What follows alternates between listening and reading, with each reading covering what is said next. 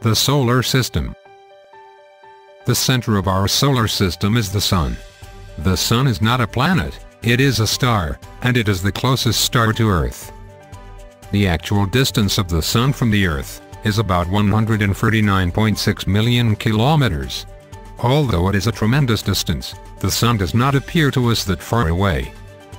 Mercury is the closest planet to the Sun. It can range from 800 degrees Fahrenheit in the day, and at night, temperatures reach minus 280 degrees Fahrenheit, but even though it is not the hottest planet in the solar system.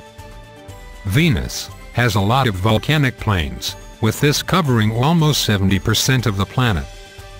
Venus is considered to be the hottest of all planets in the solar system, due to the greenhouse effect. Earth is the third planet from the Sun, and it is fifth largest planet in the solar system. The Earth is the densest of planets also. Mars, called the Red Planet, because of the many particles of iron oxide, found on the surface of the planet.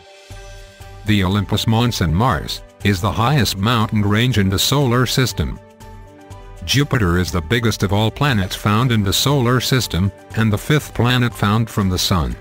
Jupiter has a planetary ring system, and has 63 different moons. Io, a satellite of the planet Jupiter, is the biggest natural satellite found in the solar system. Saturn, the second largest planet, is known because it is a ring system. This system is made up of nine different but continuous rings, which are the main rings, and there is also three other arcs, which aren't continuous in features.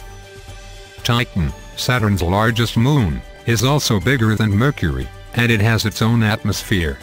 It's the only moon in the entire solar system to be able to have this. Uranus does have its own ring system, as well as its own magnetosphere. Along with 27 moons known so far. Uranus is the coldest planet in the solar system.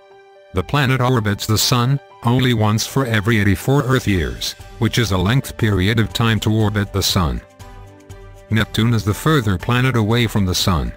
Neptune has almost 17 times more mass than that found on Earth and will be smaller than Uranus, which is very close to it. There are eight planets in the solar system. Pluto is a dwarf planet. There are three recognized dwarf planets, but some scientists believe that maybe 200 dwarf planets can be found out there in the solar system that hasn't been discovered yet. More learning, more fun. Visit us. BasicPlanet.com